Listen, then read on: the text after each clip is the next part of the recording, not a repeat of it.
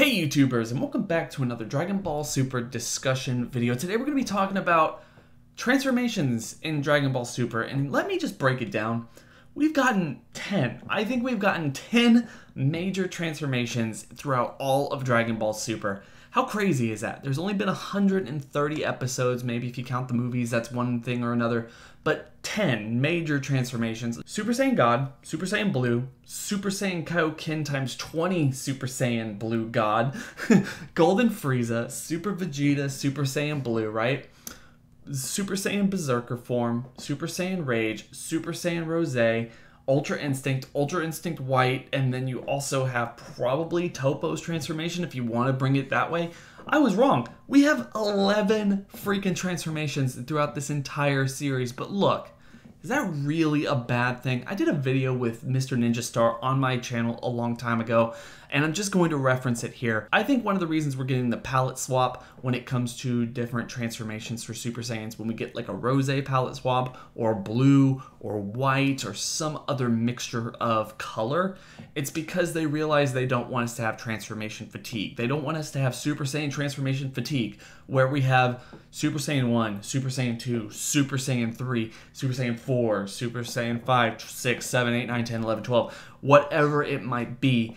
Even though that's essentially what they're giving us, they're putting these subtitles on it. They're changing the colors just slightly, not the hair, not the length of the hair or anything else like that, but making it look a little bit different so people get excited about the color palette, people get excited about the look of every single transformation even though they're just shoving transformations down our throat. And look, I'm not sure I don't, I'm not sure I think that that's a real bad thing. One of my favorite things about Dragon Ball Super is that every transformation, every fight that we get feels like one of the best things that we've seen thus far because I can go online right after I see that fight and I can talk to thousands of people about my excitement, my anticipation, and everything else for that episode, for the next episode, for the series as a whole, that's awesome. And it's one of the best things the series has given us. But at this point, 11 new transformations in the course of 128 episodes, 129 episodes by this next week.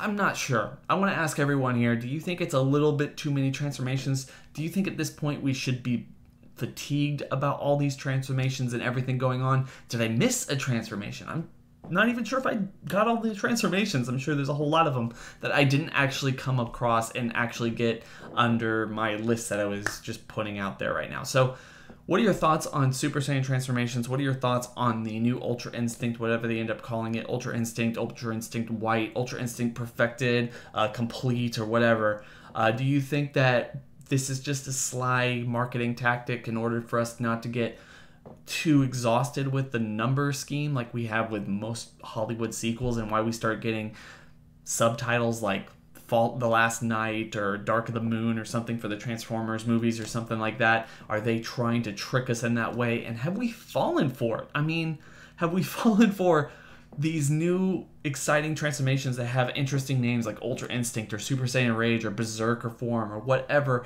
and we're not really seeing that. Yeah, that's just like a Super Saiyan God, or that's just like a Super Saiyan transformation. What's like the deal here? Uh, tell me in the comment section below. Don't forget to like, comment, subscribe, hit that bell over by the subscriber button to notify you every single time I upload. I hope everyone's having a fantastic day. Share this video out to all your friends so they can share their thoughts and opinions as well. It's been real.